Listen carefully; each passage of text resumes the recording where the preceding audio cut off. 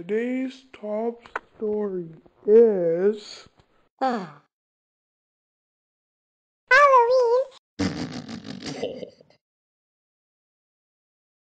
Chucky will come.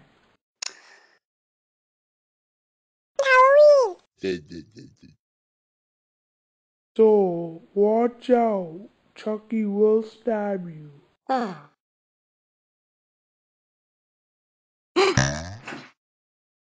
Mm.